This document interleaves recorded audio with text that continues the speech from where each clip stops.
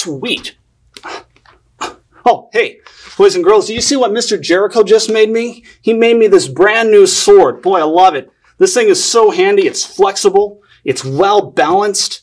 It's lightweight. Best of all, it's TSA approved. They're expensive though. He told me to get my order in soon. and He just got it to me because uh, prices on these things are going up due to inflation.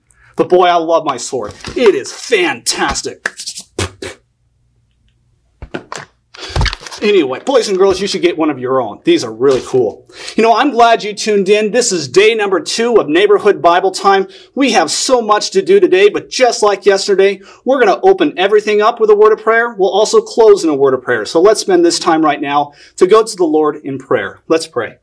Father, thank you for bringing us together this morning where we can learn some more from your word, learn the missionary story, and so much, so much more. Lord, thank you for what you brought to us today. In Christ's name, amen. Boys and girls, if this is your first time tuning in, thank you for joining Westgate Baptist Church's Neighborhood Bible Time. What we're going to do is we're going to have some Bible stories today. We're going to have some missionary stories. Mr. Jericho will continue his Jumpin' Jim story. We're going to find out what happened to Jim and Joey. Remember how they found that boat overturned? Well, we're going to figure out what happened to them today.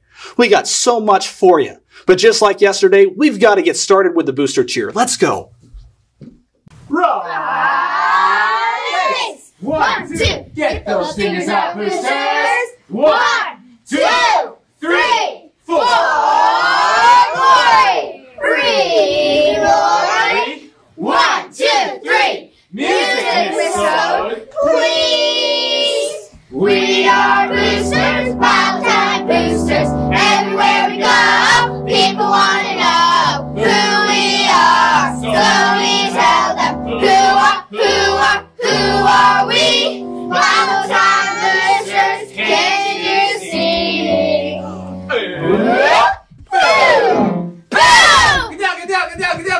Ready? One! One, two, Three! boosters! Yes,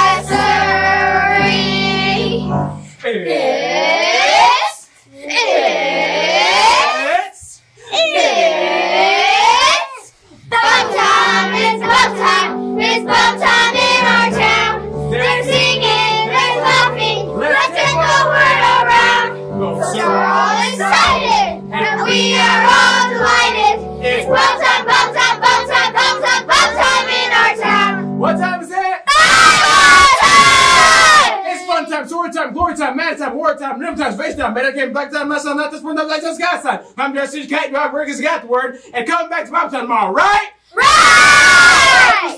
Boosters!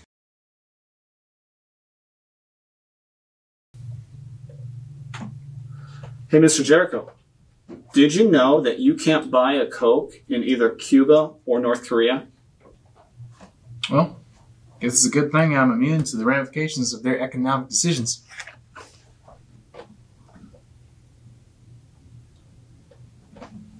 Mr. Jericho, did you know that rubber bands last longer if you refrigerate them? Where are you even getting this information from? I should have known. Mr. Macon, shouldn't you be trying to learn some more helpful facts? I think you're right. Boosters, remember the five facts of my everlasting life that I went over yesterday? I'm going to take you through fact number two. So remember, we call this the five facts of my everlasting life. Remember what we did with our number one finger? Take number two finger, take it back just like a baseball, and go. Fact number two. God sent his son Jesus to die on the cross for my sin. You see, boosters, these facts are simply the gospel all in a nutshell. Let's review for number one. Fact number one.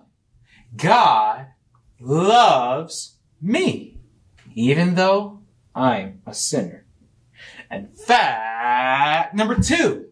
God sent his son Jesus to die on the cross for my sin. Wow, that's great. I'm glad that Christ did that for me. You know what, boosters? Yesterday we left off at a point where Orestiel, in the missionary story, put a death curse on Victor. You know, it's true that Orestiel needs to learn fact number two as well. Let's continue with that missionary story right now.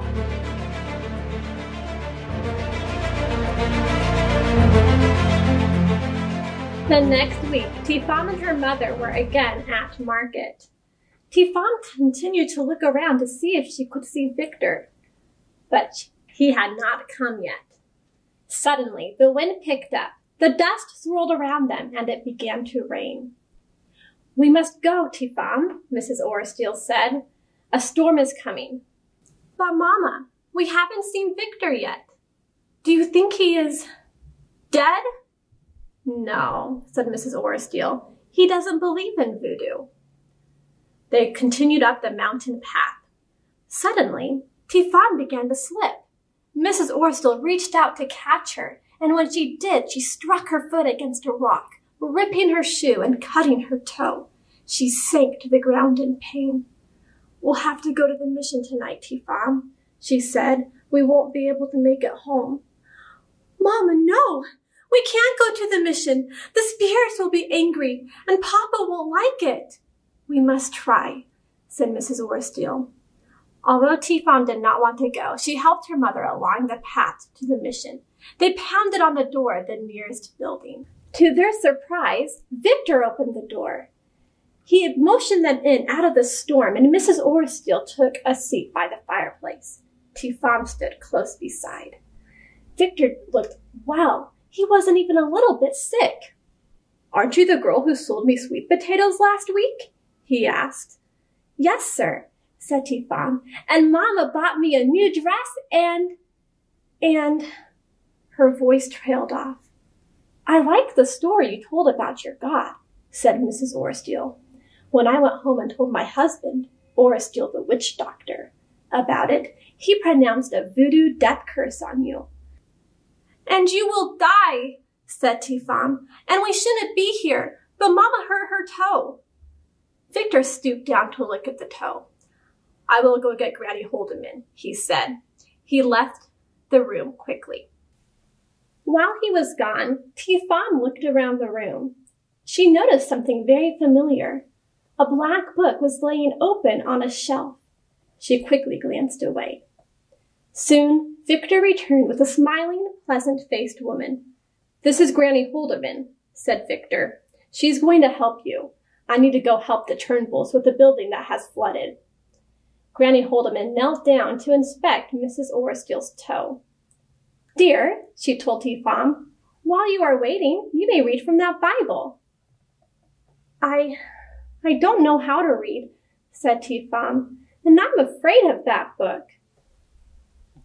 That book tells a wonderful story, said Granny. It tells of a man who healed a sick boy from his fever. He made the lame to walk again and the blind to see. I don't believe that, said Tifam. My papa can't even do that, and he's a witch doctor. The man in this story is God, said Granny. I would like to know more about him, said Mrs. Orestiel. When Granny finished bandaging her foot, she took the Bible and began to read from it. When Tifam heard the name Jesus, she tried not to listen. But soon she heard Granny say, You will have to spend the night here tonight. I will get the mats. No, cried Tifam. We can't spend the night here. She raced to the door and tried to get out, but the wind was too strong and pushed her back inside. All through the night, Tifam tossed and turned. When she heard the clap of thunder, she sat straight up in fear. In the gray light of the early morning, her mom shook her. Tifam, we must go now. The rain has never stopped. If we don't leave soon, the river will overflow, and we won't be able to cross it for days. If we go quickly, I think we can make it, said Mrs. Orestiel. Tifam desperately clung to her mother's hand as they struggled across. They reached the other side and continued on their way home. Mr. Orestiel had been watching for them. When he saw them coming, he threw open the door and helped them inside. Papa, said Tifam. Please stop the storm. I'll never go back to the mission again. You went to the mission? said Orestiel. No wonder there is a storm. You have angered the spirits. There is no hope for us now. Tifam's hand went to her garlic fetish, which hung around her neck. No hope? Wouldn't her charm help at all? The storm continued to howl around them. The hours passed by. Then a day, then two days. On the third day, Victor pounded on the door. What are you doing here? cried Orestiel. Please listen, said Victor. The rain has loosened the rocks at the top of the mountain. There is going to be a landslide. The whole valley is in danger. You must leave now. Fool, sneered Orestiel. The spirits will protect us. I am Orestiel, the witch doctor. The spirits can't protect you, said Victor. Only God can. He is a God of love. No matter what happens, I know that. You can know it too. Please let him tell us, asked Mrs. Orestiel from inside the hut. All right, said Orestiel wearily. God is greater than the spirits. He made everything. He doesn't want you to fear the spirits. He wants you to fear sin. Sin, muttered Orestiel. Who are you to speak of sin to me? I have sinned too, said Victor. The Bible says that all have sinned. Jesus Christ, God's Son, came to earth, lived a perfect, sinless life. If you receive him as your Savior, he'll forgive your sins. Mrs. Orestiel spoke up. I have noticed that those that believe like you do don't wear charms. That's right, Victor smiled. The Bible says, In that day shall a man look unto his Maker. He shall not look unto the work of his hands. I will look to your God now, said Mrs. Orestiel. And I say for you to get out of here, cried Orestiel. You speak against me, against the thing that I have spent my life doing, making voodoo charms. Get out of here, out! I will respect your wishes, Orestiel, said Victor. Mrs. Orestiel, Jesus will be precious to you. Trust in him. And he left. As the door shut behind him, Orestiel turned on his wife. How can you believe those lies? he asked. Because they're not lies, she said. I know they are true. I will need to help this curse against Victor. What are you going to do, Papa? asked Tifam. He didn't answer. Instead, he reached for his big knife. No, said Mrs. Orestiel. No one can stop me now, he said. The one true God can, cried Mrs. Orestiel. Bah! He left, slamming the door behind him. Tifam began to cry. Victor is wrong to speak against God and the spirits, she said, but I don't want Papa to kill him. Boys and girls, do you think Mr. Orestiel will kill Victor? Come back tomorrow and we'll find out.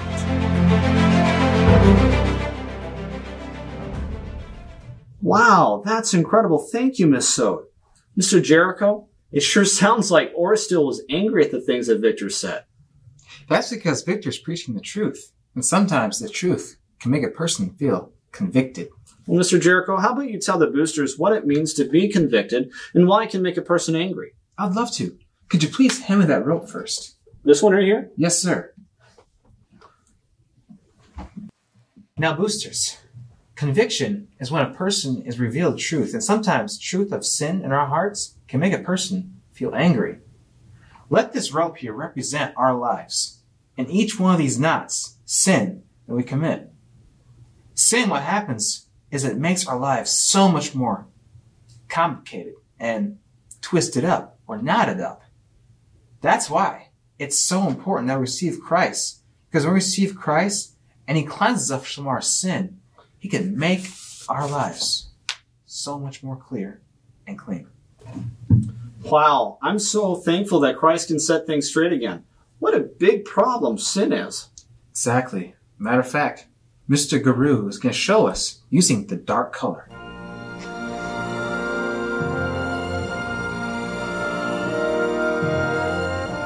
Hi, boys and girls, and welcome back to day two of Neighborhood Bible Time. Yesterday we learned about heaven. It's such a, a wonderful place that God is preparing for us. Don't miss it. You'll want to know for sure you're on your way there. The second day is the page in the uh, wordless book song is the dark page. Right here in our, we have my heart was dark with sin, our wordless book. We're going to talk today about the destructiveness or about the importance of dealing with our sin. The Bible says in Romans chapter 5 and verse number 12. Let's read that together. Romans 5 and verse 12. The Bible says, Wherefore as by one man sin entered into the world, and so death by sin, and so death passed upon all men, for that all have sinned. You know, there's a reality of sin and there's something that says about how sin entered into this world. Why we call it the dark page is because sin is just kind of a, a, a dark thing. It, it's spiritually darkness, this world. In fact, God created a beautiful earth, a beautiful world. He created everything to be uh, wonderful, perfect. And as we see a progression of what sin did to this earth, it brought a stain, it brought a mark, it, it brought something. And we've got to realize and deal. And so we're going to talk about the effects of sin today. You know, when you think about things that are dark, um, a lot of times it might think, I've got some dark clothing on today, some beautiful, colorful ribbons we like colors, but you know, sometimes people like to wear maybe dark clothing because they're a, uh, a winter person and that, that goes with their style. Uh, there's nothing wrong with that. We also, there's movies that talk about the dark side and there's, uh, sometimes a darkness may represent the good guys versus the bad guys. You know, they're on the dark side or something. Um, we think about sometimes people like to be challenged by darkness, like, let's go out and play hide and seek in the dark. Um, it, it, was kind of a, it seemed to be, uh, a fun thing to do, you know, let's get, oh, I like to be scared a little bit. So that's where the darkness comes in. There's a little bit of a, a mystery to it. But there's nothing, nothing fun or challenging or games about what sin did to this earth and what sin does in our lives. Um, I forgot to bring up though, I do happen to like dark chocolate, dark chocolate there. And so as we think about the darkness, but we see first of all that um, with the darkness and where sin entered into the world is it started in the Garden of Eden. Actually, it started before the garden, and there was a beautiful angel that was in heaven called, well, his name is Satan, the devil. He was really a beautiful angel at one time, and in the Garden of Eden, God created uh, man and woman and, and set them in charge in, it in place of the garden. Then along came someone called the devil to deceive. When we think about darkness, we think about things that are dark. Sometimes a, a deceiving, if someone's here to deceive us and not give us truth, that's a little bit dark in itself. We think of Satan coming and, and, uh, as there was trees in the garden to eat of the fruit, or there was trees that all Adam and Eve could enjoy. There was a devil that came and he said that, uh, oh, you'll be like gods if you're to eat of this fruit. And oh, God doesn't want you. And he told the Eve and the, the lady of the garden lies because his deeds were evil and because he was um, dwelling in darkness. And that's where. The Bible says in Romans chapter 5 verse 12, wherefore as by one man. And we know that Eve listened to that deceiver, Satan, um, who had been bringing darkness into this world ever since his first sin of rebelling against God and pridefully saying he'll be like God or more than God. And so God cast him out of heaven. So the devil comes on this earth to deceive. He comes in this earth and he's here today, boys and girls, to try to deceive you and I. He doesn't want us to make a decision for Jesus Christ. He wants to distract and he wants to destroy. All those words that start with the letter D, that's what the devil's all about. We see that he was the great deceiver, but there was also some, some disobedience. The disobedience was that Eve said, Hey, this tree is not so bad. And she was deceived into thinking God had told them, do not touch this certain tree. Do not eat of it, lest ye shall die. And that's dying spiritually and dying and, and not living forever. And then she gave to her husband and he did eat too. That was Adam. And that's the story of Adam and Eve. And from that time, that's why we see, for as one man sin entered into the world and death by sin. And so death passed upon all men uh, for that all have sinned. So we've got to realize that there was a disobedience as well. And because of one man's disobedience, and sometimes we get all up in arms and we get all thinking that, oh, it was Adam's fault. We get blaming him. And, you know, it's not our job to blame or it's not our job to make excuses for what somebody else did. There's a lot of that that goes on today. Well, my brother did. Oh, my sister did this. You ever blame someone for something? We got to go back to our own lives and say, you know, we're the ones that need to deal with our sin. Instead of blaming Adam, instead of blaming, we ought to believe and accept the remedy. Because that's why Christ died for our sins, according to the scriptures. He died for us. So there was a disobedience. And then that brought a downfall. You know, the downfall was that all men now, that one man sinned, sin is brought into the world. They were cast out of the garden. They were, had to work by the sweat of their brow. They had all the effects of sin. And when I think about sometimes when I uh, commit a sin and you and I, uh, we're not perfect beings and there's sin that comes into our life. Whenever I think about that, I think about the sin that that one man did. But God's got a remedy and God's got something that we can deal with that sin. Now, there's someone else in the Bible. Sometimes men like their sin. There's a scripture in John chapter number three that said, For everyone that doeth evil hateth the light. God's got the light of his word and God's got the light of himself and God's got the light of salvation. But it says, verse 19, and this is the condemnation that light is come into the world. That's the light of Jesus and the, the light of his son. Uh, light of God's son is come into the world and men loved darkness rather than light because they like to be challenged by the dark? No. Men love darkness better than light because they like to play games in the dark with their friends? No. The Bible says men love darkness better than light because their deeds were evil. I'll tell you a quick story. In the middle of the night one time I got up for a snack. You ever do that? I was going downstairs and I crept downstairs. Dun, dun, dun, dun, dun, dun, dun, dun, dun.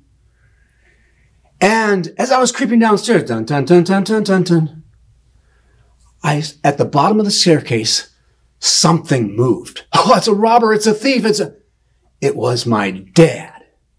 He was right there at the bottom of the stairs. He didn't say anything. I didn't say anything. And I turned right around and I went, dun, dun, dun, dun, dun, dun, dun, dun, dun, back up the stairs. So I came down the stairs. Dun, dun, dun, dun, dun, dun, dun. I looked at him. He looked at me. He moved. I was scared. Back up the stairs. Dun, dun, dun, dun. I got back in bed.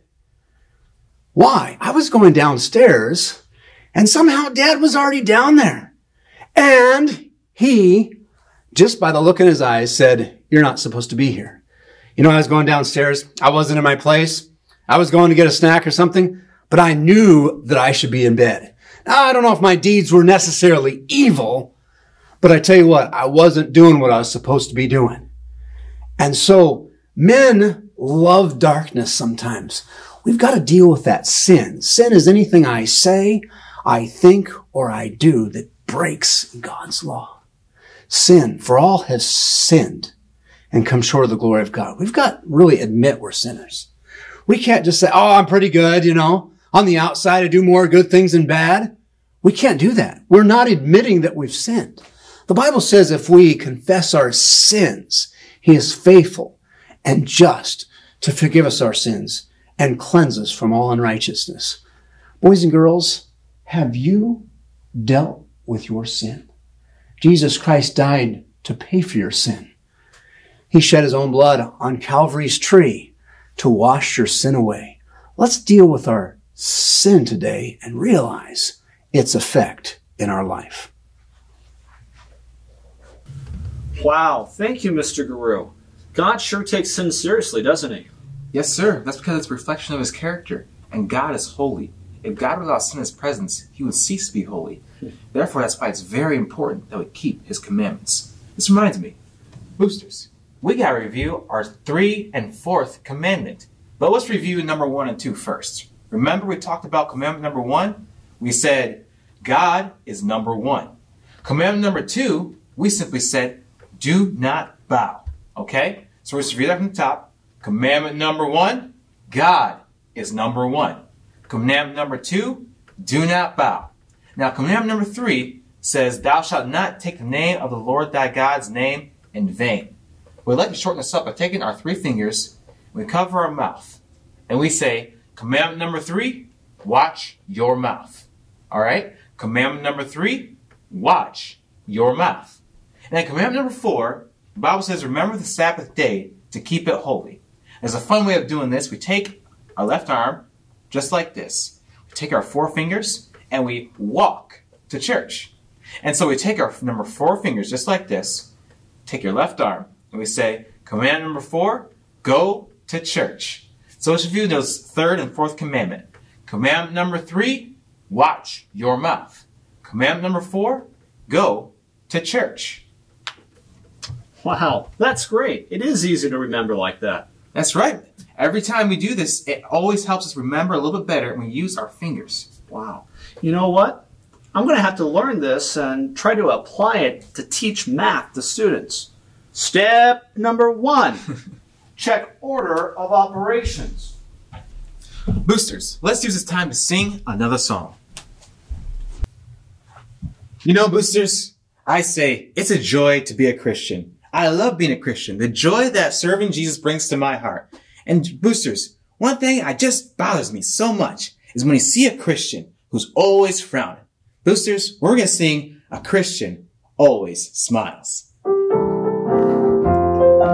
A Christian always smiles, he never wears a frown. He's always up in victory, you cannot keep him down. And when he's up, he's up. And when he's down, he's down. And when he's only halfway up, he's neither up or down. Great job, boosters. So remember, remember to keep that smile and let that light shine because, boosters, it's a joy to be a Christian. Great job singing, boosters.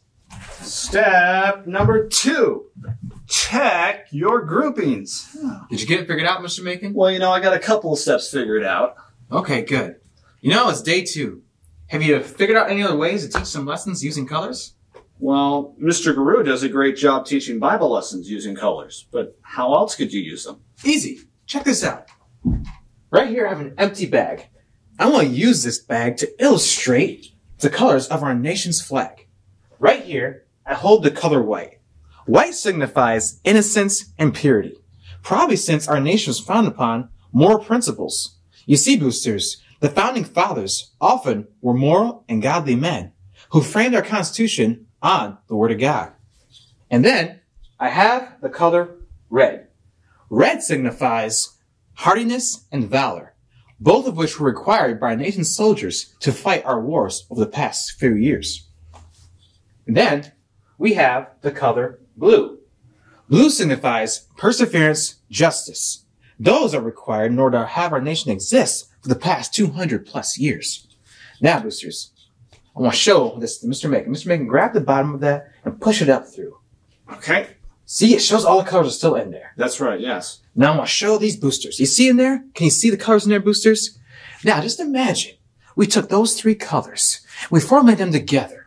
Boosters, eventually, you know what we're going to get? We're going to get our nation's flag. Now push that up through again. Can you see anything in there, Mr. Macon? No, that's great. Now, boosters, I want you all to join with me our respect for our nation. I want you to stand and say our pledge of allegiance. Are ready?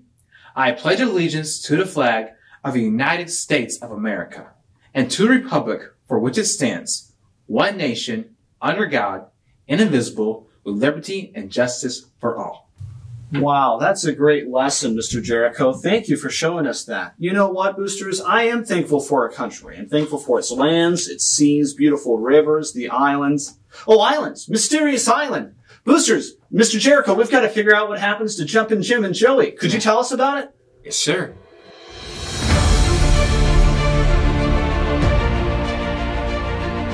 Now, boosters, I love our country. The United States of America is one of the best countries that's ever existed in history. I love our geography, the mountains, the hills, the islands. As a matter of fact, let's go back to our story about Jumpin' Jim at the Mystery Island. Remember, mom and dad of Jumpin' Jim were worried sick. Dad got a phone call from the boat patrol police. He picked up the phone. Says, hello. They found the boat. They found the boat. Honey, they found the boat. What about the boys? Jumpin' Jim's dad's face had said it all. What happened was, the river boat patrol, they found the boat, but they didn't find Jumpin' Jim and Joey. Jumpin' Jim and Joey were nowhere to be found. And now the two boys were missing. The parents sat there in disarray. They didn't know what to think. They could only assume the worst. Oh, what happened to Jim and Joey? The Nelsons were still there, doing their best to comfort Jim's parents. Now, back yesterday when Jumpin' Jim and Joey had left the docks, they pushed off and started rowing towards Mystery Island. They finally were getting their first opportunity to go to the island. They were excited, but yet Jim had something going on in his heart. Something just didn't feel quite right. He felt excited to be able to finally explore this island, but yet there's something that was bothering him. He had taken the boat without permission and had gone down by the river when his dad had told him not to. He knew that he was going to be in trouble, and he knew what he had done was wrong. You see, Booster, Jumpin' Jim, he had sinned, just as some of you do. Oftentimes, when we really, really, really, really want something, and we're told we can't have that, but yet we go have it anyways, it might be satisfying for a minute. The Bible says that when sin, when it's finished, bringeth forth death. Jumpin' Jim felt a little bad inside. What that was, was a guilty conscience. When we sin, sin must be punished. As Jumpin' Jim and Joey were rowing towards that island, all of a sudden, as they got closer and closer, the river began to get faster and faster and faster. A strong current began to rock that boat back and forth. Next thing you know, Jumpin' Jim and Joey were afraid they were going to capsize and flip over. Remember, boosters? Jim couldn't swim. Joey wasn't the best swimmer either. Oh man. But fortunately, they were close enough to shallow water. They had to make a decision before that boat capsized. They thought, we gotta get out of this boat before it flips over. We gotta jump, Joey. Jumpin' Jim had those strong jumping legs. He got on top of that seat and he jumped as far as he could. And he landed in the shallow waters. Next, Joey got up. He went to jump. But unfortunately, Joey couldn't jump as far as Jim. And when Joey landed in the water, it was still too deep. And that current began to pull Joey back out into the river. He said, help me, Jim! Help me, Jim! Help me, Jim! His water kept, his head kept bobbing up and down in the water. Jim just stood there helplessly. He couldn't swim out after him. He looked around to find a stick. He looked around around a rope. There was nothing he could find. He tried to call for help. He pulled out his cell phone. There was no signal. He just stood there. He watched Joey helplessly, frantically fight over these waves, and that current began to take him further and further away from the island. He watched him as he went off and off, and he couldn't see him no more. He could barely hear his faint cry. And there Joey stood, there at the island, wet, cold, and lonely. That guilty feeling he had, just began to get worse.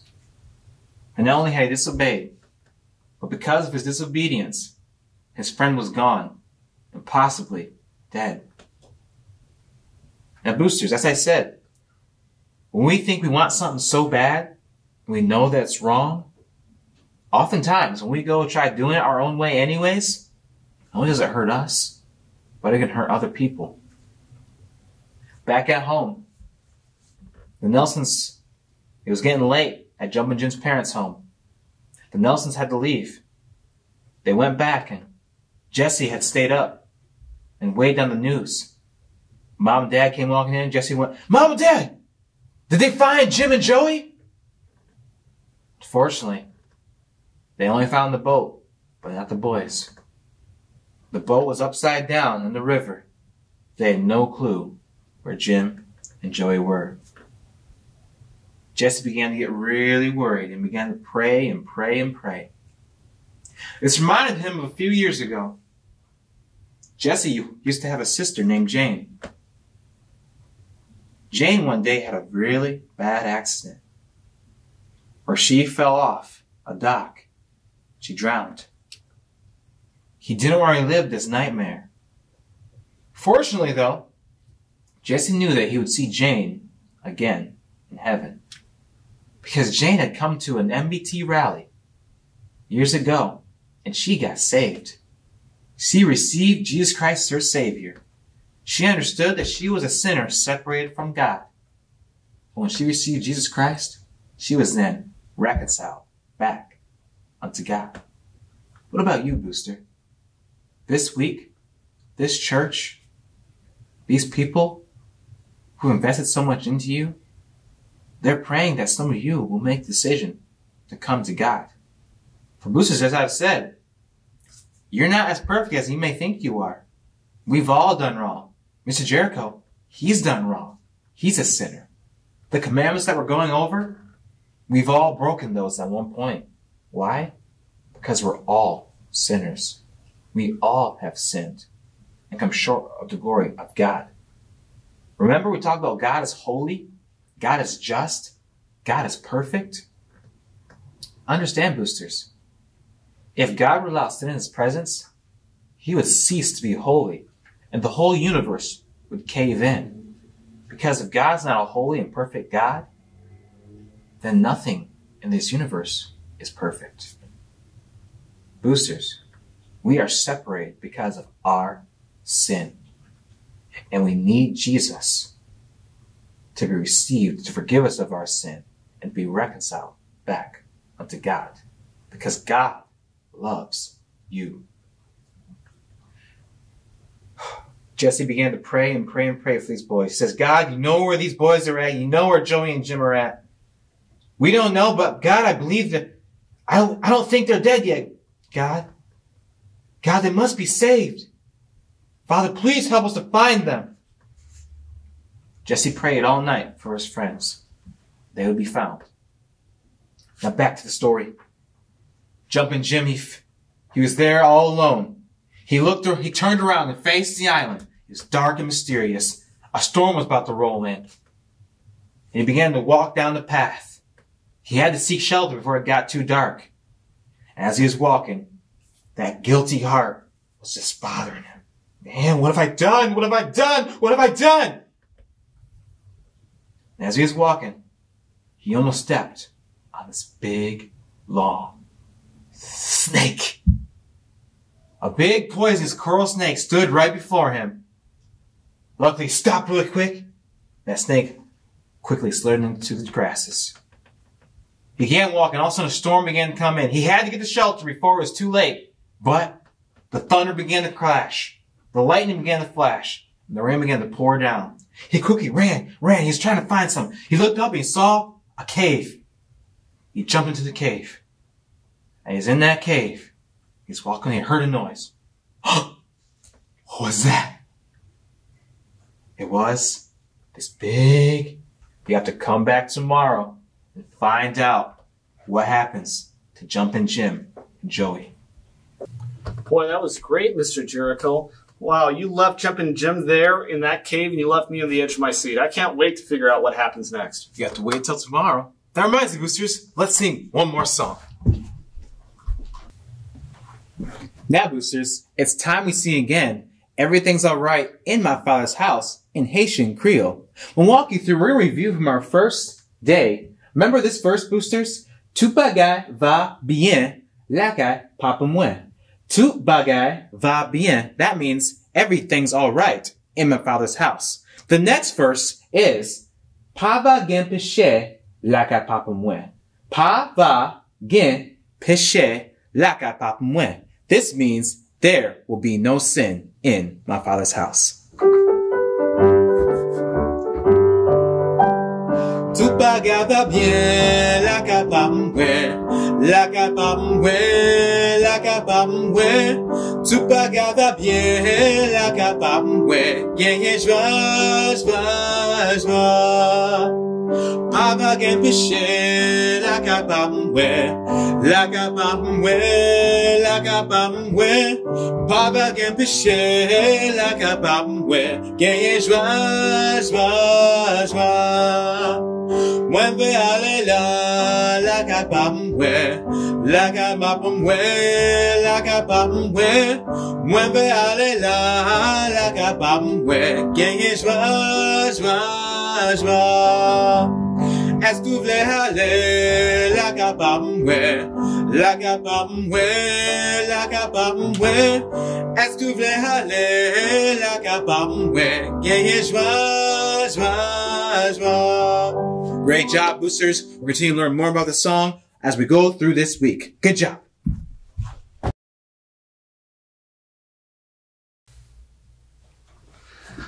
Boosters, we learned so much today. I'm glad you joined us. Wow, what a fun day we had together. Wasn't it neat to see Mr. Jericho pull the flag out of the, out of the bag? That was amazing.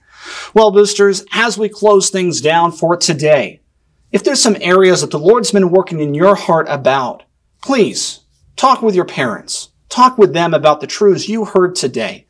If there's any way that we could be a help, feel free to reach out to Westgate Baptist Church. Our phone number is 503 524 3500. We would love to be a help too if we can. Let's close in a word of prayer. Let's pray. Father, thank you for this day. Thank you for the truths we learn from your word. Thank you that you loved us. Lord, I pray that you dismiss us with your blessing. Bring us back tomorrow ready to learn. In Jesus' name, amen. Thank you for joining us today. We'll see you tomorrow.